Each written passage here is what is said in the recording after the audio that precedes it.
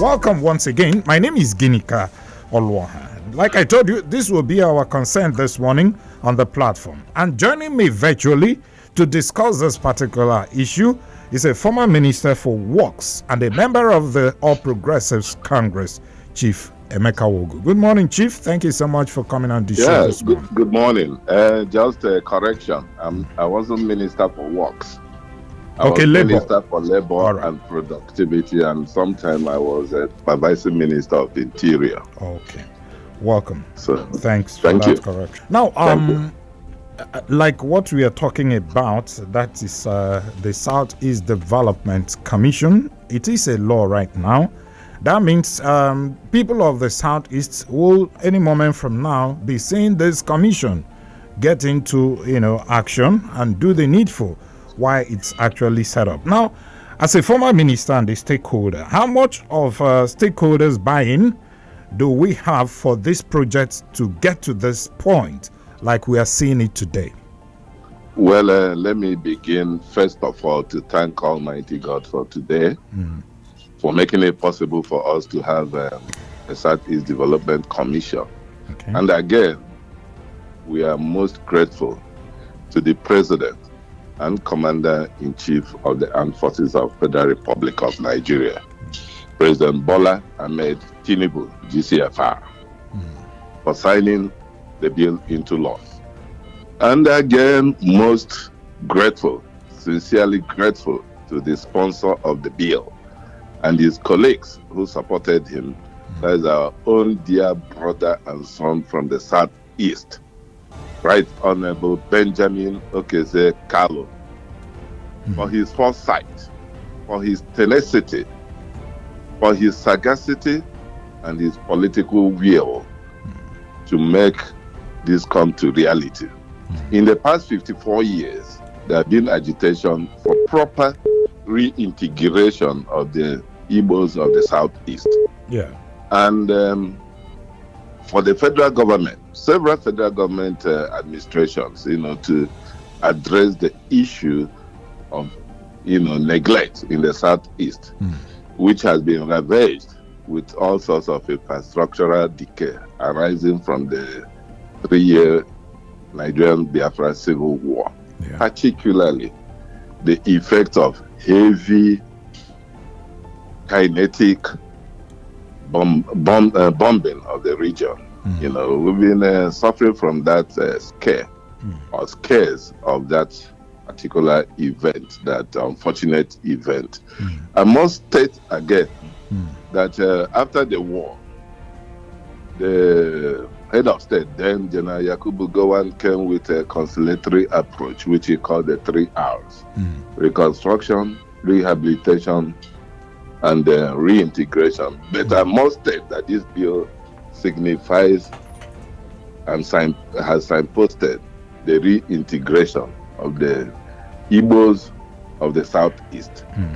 And uh, the Igbos of Southeast, which is made of five states, are happy and most grateful to these two gentlemen who made it possible for today to happen.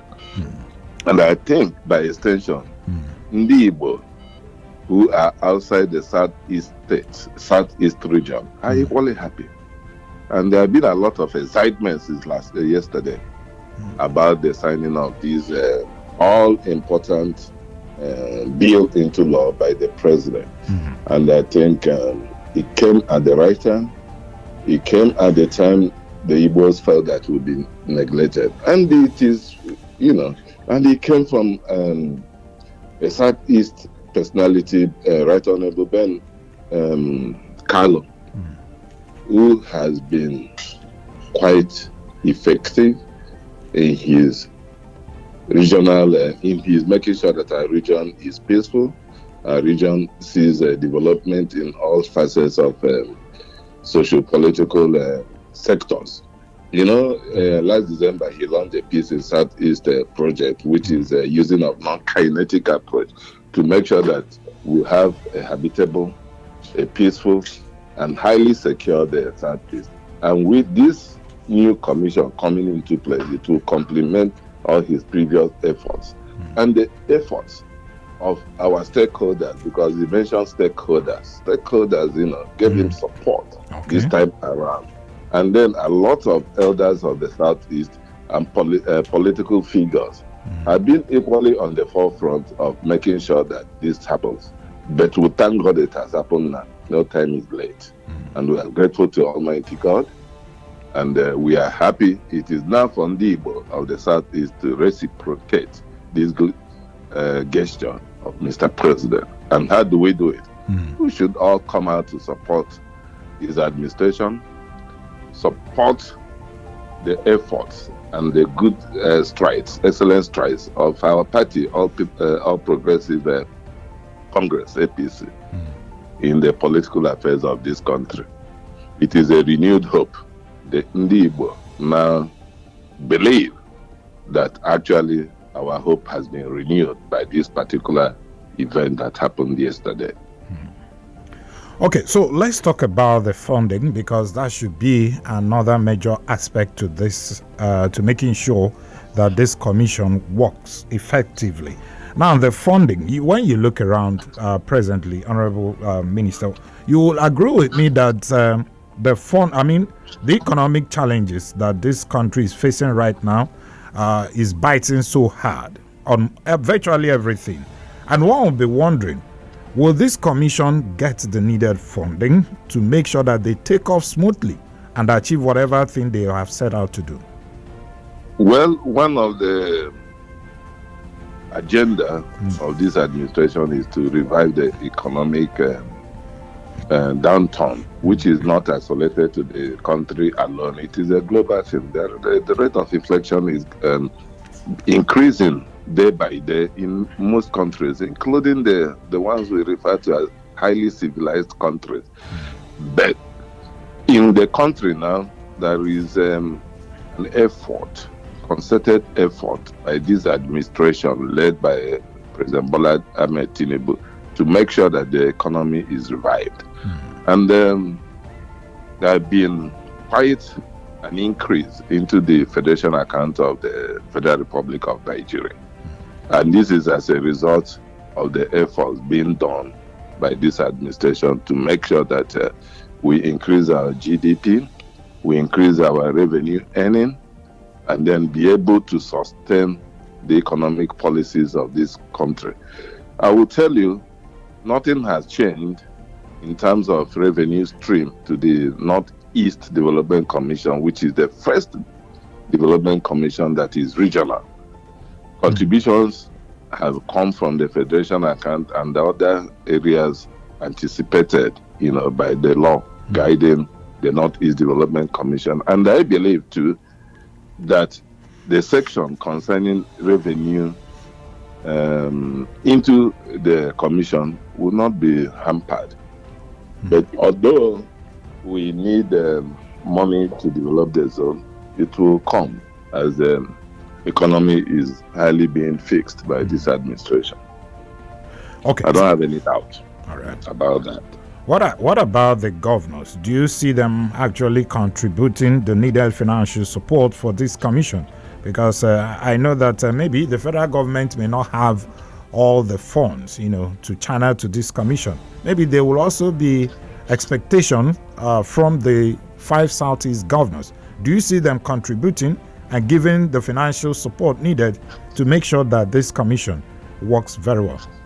Well, let me begin by thanking all the five governors of Southeast states for the support they gave, you know, during the struggle and the agitation to have this bill mm-hmm. passed at the both chambers of the National Assembly because if they did not buy into it and support it, then we'll still be, you know, be in a situation where we will not have been able to get these bills passed. So having supported it and supported the sponsor of this bill, Right Honorable Benjamin Kalu, to have the bill passed, I, they will support this particular uh, commission by their own contribution.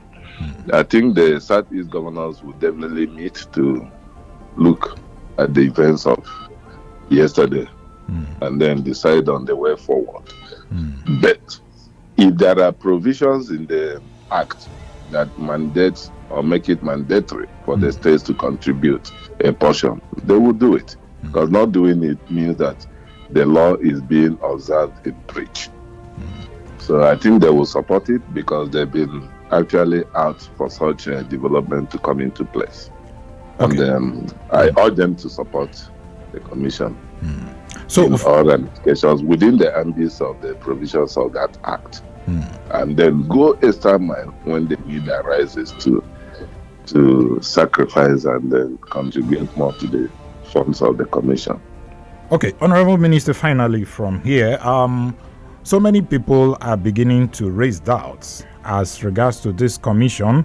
Uh, with the coming on board of this commission, will it erode the call and agitation for the release of the IPOB leader Nnamdi Kanu? Maybe the president will say, I have granted you people this. Why are you still asking for this? Well, um, like I said, the, this um, law came in timely. It came at the time people are agitating for the release of uh, Mazi Kanu.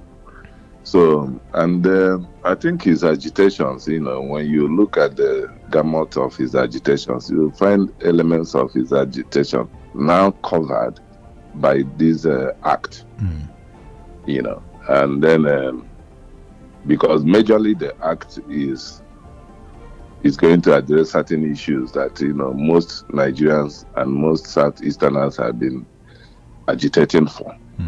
So I believe that um, is a situation that uh, you know the stakeholders in the southeast and uh, will sit back and uh, review, and then uh, continue to push for his release. You know, which definitely will come as a political via political solution because the matter is in court already. Yeah. So I don't want to go into the details of the matter because it, it is sub judice. Okay. But we'll pray that um, all things will be good in the southeast beginning from now.